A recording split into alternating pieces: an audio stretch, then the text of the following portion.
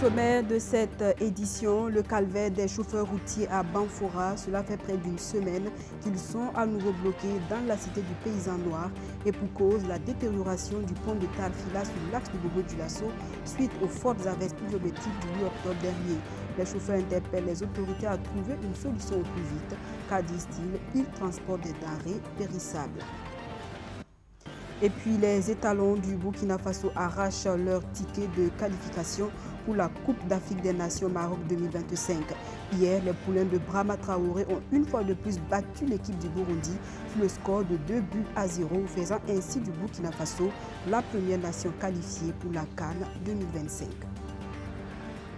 Voilà pour le sommet. Soyez les bienvenus au journal de la mi-journée de BF1. C'est un spectacle impressionnant et inhabituel qui a été donné de voir à Banfoura des camions de marchandises stationnés dans une longue file depuis Tarfila, non pas pour un contrôle, mais à cause du mauvais état de la route. Le pont de Tarfila, à 8 km de Banfoura sur l'axe de Bobo du Lasso, a cédé après les pluies diluviennes du 8 octobre dernier. Conséquence, les chauffeurs routiers sont bloqués depuis près d'une semaine dans la cité du paysan noir. Ils interpellent les autorités à trouver une solution au plus vite car, disent-ils, ils transportent des aliments périssables. Mais en attendant, pour passer le temps, ces chauffeurs ont monté des grains de thé sur place. Le constat de Sori à la Centraori. Ce n'est pas un grain de thé ordinaire. Ces personnes sont des chauffeurs et ont les camions dans cette longue file de véhicules à l'arrêt. Cela fait maintenant environ 120 heures. Je suis un chauffeur routier et depuis 4 jours, nous sommes ici à Banfora à cause d'un point qui a cédé. Nous demandons aux autorités de faire leur mieux pour qu'on puisse trouver une solution rapidement car on a des denrées périssables. La cause, c'est ce pont qui a cédé suite aux pluies des 6, 7 et 8 octobre sur la RN7 à Tarfila dans la commune de Banfoura. Les autorités locales avaient publié un communiqué pour indiquer un itinéraire de secours passant par les Mouroudou. Mais très vite, cette voie a subi la fureur des pneus des véhicules poids lourds. Sans alternative, il faut attendre. Nous avons chargé la marchandise depuis la Côte d'Ivoire, mais arrivé ici, on a constaté que l'eau des pluies a endommagé un pont. Au jour d'aujourd'hui, ça commence à être compliqué pour certains. On demande aux autorités de nous aider afin qu'on puisse trouver une issue pour tout un chacun. Les autorités du ministère des Infrastructures ont fait venir un pont d'urgence pour établir le trafic et les travaux de montage de ce dispositif commencent le lundi. Le ministre, tout en présentant ses excuses pour les désagréments causés, appelle les usagers à faire preuve de la plus grande prudence sur ces tronçons Bobo-Banfoura. On reste dans la cité du paysan noir où l'Institut national de la statistique et de la démographie a procédé au lancement du recensement général des entreprises. Cette opération qui vise à déterminer le nombre d'entreprises et d'établissements de la région permettra à terme au pays de mettre à jour le répertoire statistique des entreprises pour mieux booster l'économie. Avant que les agents recenseurs prennent d'assaut les artères de la ville, des chefs d'entreprise prennent connaissance du bien fondé de cette opération afin de faciliter la tâche aux agents recenseurs. Thomas Koukayao, Soto Justin Tabiri. À ces acteurs de l'économie informelle et formelle des cascades, l'Institut national de la statistique et de la démographie INSD présente les différents mécanismes et les biens fondés de l'opération de recensement général des entreprises. La présentation est suivie d'échanges afin d'éclairer la lanterne des participants, une initiative appréciée positivement par les acteurs. Ce projet de recensement, ça va nous favoriser sur beaucoup de chemins. Parce qu'on a remarqué même, on vient de le dire dans la salle, il y a de ces activités que d'autres mènent. Pourtant, ils ne sont pas agréés à mener ces activités-là. Parce que nous qui payons les taxes là, ça ne nous arrange pas. Donc, le fait d'avoir un, un recensement en cours là va nous permettre vraiment de situer la responsabilité de tout un chacun. Recenser les entreprises économiques, c'est déjà une bonne chose parce qu'il faut, dans une région ou un pays, connaître le nombre d'entreprises qui s'y trouvent et quels sont les, les, secteurs d'activité que ces entreprises occupent. Ce que j'ai à leur dire, c'est de faire passer l'information et d'être vraiment ouvert aux agents recenseurs, de donner toutes les informations nécessaires aux agents recenseurs pour que leur entreprise puisse être recensée ce recensement général des entreprises initié par l'INSD vise à identifier et géolocaliser toutes les unités économiques de la région, à connaître leurs caractéristiques démographiques afin de mettre à jour le répertoire statistique des entreprises au Burkina Faso. Les données qui vont sortir de cette opération vont nous permettre de mieux planifier et suivre les différentes politiques qui sont en cours actuellement au Burkina Faso.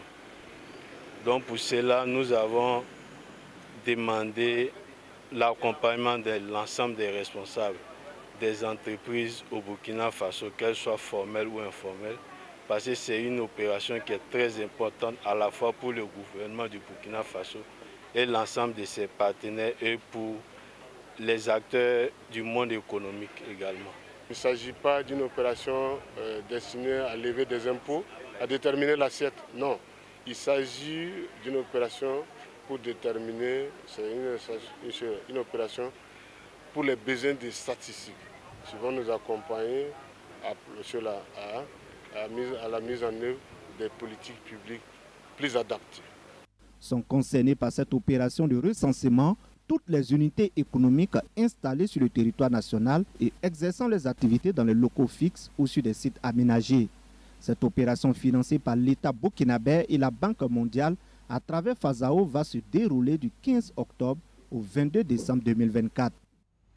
Dans la page santé, l'ONG Croix-Rouge Burkina apporte sa contribution pour l'amélioration de l'offre de soins dans les centres de santé fortement touchés par l'insécurité.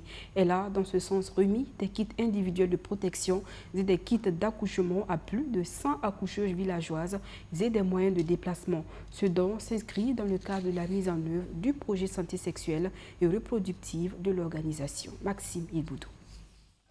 Barka Tinto, accoucheuse villageoise dans la province du Sourou, reçoit un kit de protection composé de blouses, de gants, de l'eau de javel, des kits d'accouchement et un vélo.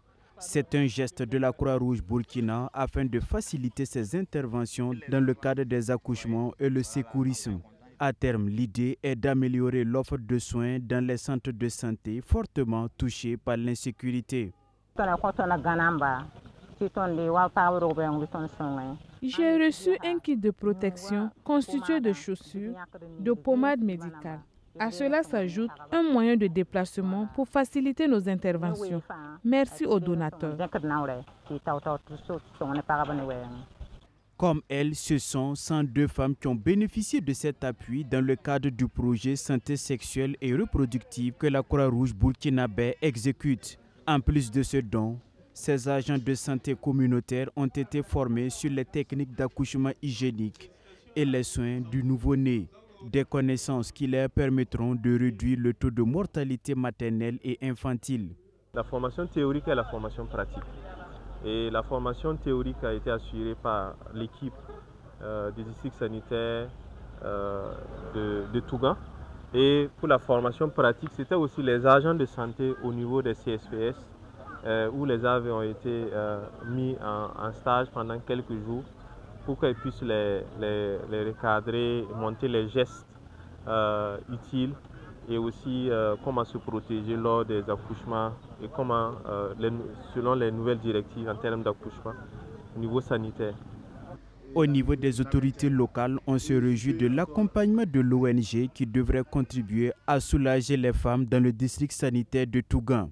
Ce geste vient renforcer les capacités de nos accoucheuses villageoises qui œuvrent nuit et jour dans nos formations sanitaires, dans l'assistance euh, de nos femmes, nos sœurs, qui ont besoin en tout cas de cette assistance-là au cours de leur accouchement.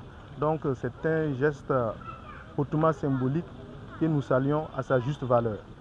Auxiliaire des pouvoirs publics, la Croix-Rouge Burkina accompagne les populations pour un meilleur accès aux besoins prioritaires et à la consolidation des relations entre communautés. L'entreprise Nestlé Burkina Elle s'engage à promouvoir l'entrepreneuriat des jeunes au Burkina Faso. À travers ses plateformes digitales dénommées YEP, une centaine de jeunes ont pu renforcer leurs capacités sur des thématiques telles que le développement de la posture entrepreneuriale, les opportunités de financement et les techniques de vente, entre autres. L'idée étant de permettre à ces jeunes de concrétiser leur idée d'entreprise. Après plusieurs jours de formation, ils ont reçu le 10 octobre dernier leurs attestations sous le regard de Maxime Ilboudou. Ces entrepreneurs constituent la première cohorte de jeunes burkinabés formés par Nestlé à travers la plateforme YEP. Une centaine ils ont été outillés pour certains sur comment développer la posture entrepreneuriale, saisir les opportunités de financement et d'autres sur les techniques de vente, l'employabilité, le digital en entrepreneuriat. Ce 10 octobre, les plus méritants reçoivent leur parchemin de fin de formation. La formation de Nestlé en entrepreneuriat va me permettre de me lancer plus et de mieux faire dans mon domaine et je voulais inviter aussi les jeunes à faire comme moi, à participer à la formation en ligne de Nestlé, YIP, qui est accessible à tout le monde. Il suffit juste d'avoir les données et de se faire former. Le groupe Nestlé offre ainsi une opportunité aux jeunes de développer leurs compétences et de concrétiser leurs idées d'entreprise. Ce géant dans le domaine agroalimentaire est convaincu qu'il faut investir dans les jeunes afin de les rendre compétitifs sur le marché de l'emploi. À travers cette plateforme de Young Entrepreneurship plateforme, les jeunes ont acquis les rudiments nécessaires pour se préparer à mettre en place leurs initiatives en entreprise et également d'autres, ça leur permettra d'être mieux outillés pour affronter le monde de l'emploi. Donc ce soir, c'est une cérémonie pour euh, remettre aux récipiendaires euh, ces attestations qui bonifient euh, les efforts qu'ils ont fournis pour apprendre le savoir dans le but d'être compétitifs. Une occasion pour le directeur général de Nestlé Burkina de partager son expérience avec ses porteurs d'idées. Objectif promouvoir et renforcer l'entrepreneuriat des jeunes. Génération d'idées, c'est un des thèmes euh, favoris de, cette formation, puisque pour euh, mettre tout projet en place, naturellement, il faut la conception. Donc, euh, c'est la base de, cette formation pour avoir l'idée d'entreprendre et cette idée, comment la mettre en place? C'est une formation continue ouverte également à la jeunesse du Mali, du Togo, du Bénin et du Niger. À terme, l'idée est de toucher près de 10 millions de jeunes dans le monde. Dans l'actualité également, c'est une initiative qui vise à promouvoir l'intégration des peuples de l'Alliance des États du Sahel par le biais de la culture. Le gala des pays de l'AES réunit sur une même scène des artistes du Burkina Faso, du Mali et du Niger pour un concert au stade municipal Issoufou Joseph Konombo. L'événement qui aura lieu le 30 novembre prochain est porté par un jeune burkinabé de la diaspora italienne. À travers ce rendez-vous, il entend apporter à ça il entend apporter à sa manière son soutien aux autorités de la transition dans leur dynamique de promotion de la cohésion sociale. Archimède Boy. Moussa Convolbo, burkinabé vivant en Italie, veut soutenir la dynamique des pays de l'AES, celle de l'intégration des peuples de l'Alliance. Sur un même podium, il souhaite réunir les artistes du Burkina Faso, du Mali et du Niger pour un concert géant gratuit au stade municipal de Ouagadougou. L'initiative est dénommée Gala de soutien au pays de l'AES.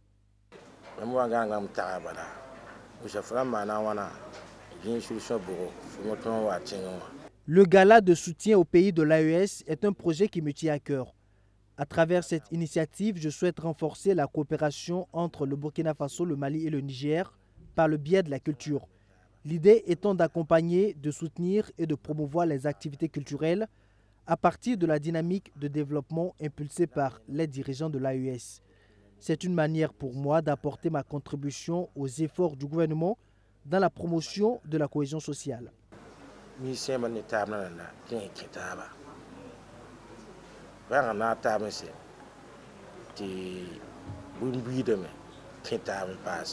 Le gala de soutien au pays de l'AES, c'est aussi une tribune pour exprimer la solidarité du promoteur aux personnes déplacées internes. Des vivres et des non-vivres seront récoltés le 1er décembre prochain pour soutenir la résilience de ces personnes vulnérables.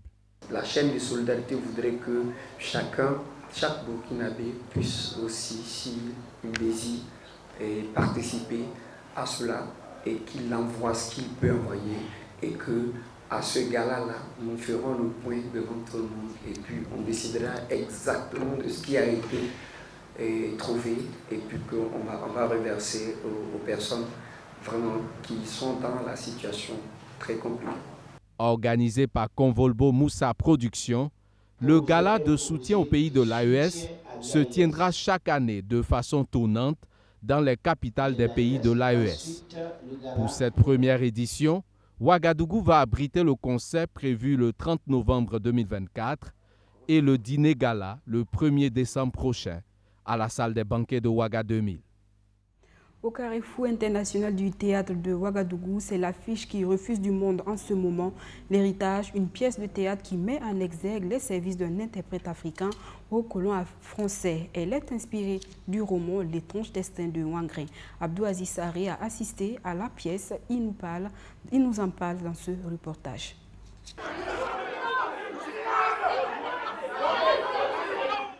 L'héritage, un spectacle qui refuse du monde au carrefour international du théâtre de Ouagadougou, Sito. La pièce parle d'un interprète africain au service des colons français en Afrique. Mon commandant, ne me demandez pas d'outrager ma propre mère. Un homme exceptionnel qui use de beaucoup de malice pour se glisser à travers les failles du système colonial à une époque où les Africains n'avaient pas franchement voix au chapitre. Donc l'histoire retrace un peu euh, le parcours de cet interprète-là en questionnant la question de la langue, en questionnant les sujets politiques, sociétaux, le fait de revenir à notre culture, la solidarité entre les, Africains et aussi le fait d'ouvrir une lucarne sur le passé qu'a été la colonisation et de pouvoir tirer l'héritage que nous avons et qu'est-ce que nous devons laisser, qu'est-ce que nous devons prendre, à quoi nous devons revenir et, et qu'est-ce que nous devons, euh, de quoi nous devons nous départir. La pièce est inspirée de l'étrange destin de Wangrin, un roman de l'écrivain malien Amadou Ampateba. La mise en scène est jugée impeccable par l'un des premiers enseignants de théâtre au Burkina Faso. J'ai beaucoup apprécié le langage, notamment euh, celui qui est dit par le prologue et ce qui est dit également en exode à la fin. Et je trouve que c'est des textes qui actualisent de façon très claire le contenu de cette œuvre-là au contexte du Burkina aujourd'hui. Donc félicitations à tous ceux qui ont contribué à la mise en œuvre de cette pièce. Juste après le spectacle, des hommages sont rendus à l'enseignant de théâtre, le professeur Prosper Compaoré, et à son collègue Yves Dakuo, enseignant-chercheur de sémiotique littéraire à la retraite. Tous les deux reçoivent des lettres de désignation pour figurer sur la rue des Étoiles.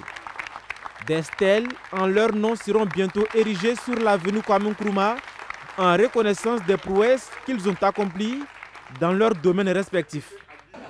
Je salue en toi ceux qui ont eu l'initiative de mettre en place une telle structure, d'honorer, n'est-ce pas, des personnalités euh, africaines, burkinabè, par une rue.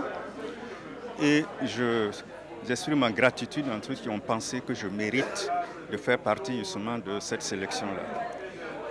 Donc c'est vraiment un sentiment de- de gratitude, une grande surprise et vraiment la gratitude à l'égard de ces personnes-là. La rue des Étoiles est un projet de l'Académie des Sotigui pour rendre hommage à des personnalités physiques et morales qui ont marqué l'histoire du continent. Les domaines d'excellence retenus sont l'art, la culture, les sciences exactes, les savoirs endogènes, le sport, la citoyenneté et le panafricanisme, entre autres. Dernier point de ce journal, les étalons du Burkina Faso seront au rendez-vous du Maroc en 2025 pour la phase finale de la 35e Coupe d'Afrique des Nations. Après les doubles confrontations des 10 et 13 octobre dernier face au Burundi, les hommes de Brahma Traoré, en faisant le plan de points dans le groupe L, arrachent leur ticket avec 10 points. Ce sera la 14e fois que le 11 burkinabé va jouer une phase finale depuis la création de la compétition en 1950. 57. Madizongo, Boy. Le Burkina Faso était face au Burundi le 13 octobre dernier au stade Oufoué-Boigny d'Abidjan dans le cadre de la quatrième journée des éliminatoires de la Cannes 2025 dans le groupe L. Après leur succès 4 buts à 1 le 10 octobre pour le compte de la troisième journée, les étalons ont récidivé en battant les Itamba Murungambas par 2 buts à 0 des réalisations de Mohamed Konaté à la cinquième minute et de Bertrand Traoré pendant le temps additionnel en fin de partie. Je crois que cette équipe euh, a besoin en tout cas de confiance. Voilà, donc euh, si nous arrivons à la mettre en confiance, elle peut faire très mal. Et aujourd'hui, vous remarquez que nous essayons de faire un football total parce que parfois tu retrouves euh, sept joueurs dans la surface de réparation adverse, c'est pas du donné. Pour cette sortie, Brahma Traoré avait profondément remanié son 11 de départ avec six changements. Steve Yago est revenu en défense, Seydou Simporé et Kader Ouattara ont intégré le milieu de terrain. Une ligne d'attaque relookée a été constituée avec Hassan Bandé, Cédric Badolo et Mohamed Konaté. Moins dominateur avec seulement 48% de possession, 4 tirs cadrés et seulement 326 passes réussies, les étalons ont néanmoins fait l'essentiel en inscrivant les deux buts du match. Comme en 2023, le Burkina Faso se qualifie à deux journées de la fin pour la prochaine phase finale de la Coupe d'Afrique des Nations. Bon, je vais dire que ce n'est pas, pas une surprise pour nous, mais vu qu'on a des, des joueurs de, de, très haut niveau, voilà, on mérite déjà, on mérite d'être qualifié pour la Coupe d'Afrique et c'est fait. Et comme je viens de le dire, on va vite tourner la page et se préparer à. Il nous reste deux matchs. Avec 10 points et un goal différentiel de plus 7, les étalons sont sûrs d'occuper une des deux premières places du groupe L. Les 5e et 6e journées, les 11 et 19 novembre prochains, compteront pour du beurre, pour le 11 national. Ce double succès aux Hirondelles confirme la bonne dynamique des étalons. Depuis le 6 juin dernier, date de leur défaite contre l'Égypte en éliminatoire de la Coupe du Monde 2026, les hommes de Brahma Traoré n'ont plus plié les chines face à un adversaire. Ils totalisent depuis lors 5 matchs avec 3 victoires et 2 matchs nuls. La phase finale de la 35e Coupe d'Afrique des Nations est prévue du 21 décembre 2024 au 18 janvier 2025 dans le royaume chérifien. Ce sera la 14e participation du Burkina Faso à la phase finale depuis la création de la compétition en 1957. Fin de ce journal. Merci de nous avoir suivis. L'information revient à 19h30 avec Roméo Kueta. Moi, je serai très ravi de vous retrouver demain pour une nouvelle session d'information. Excellent après-midi en compagnie des programmes de la chaîne au cœur de nos décis. Thank you.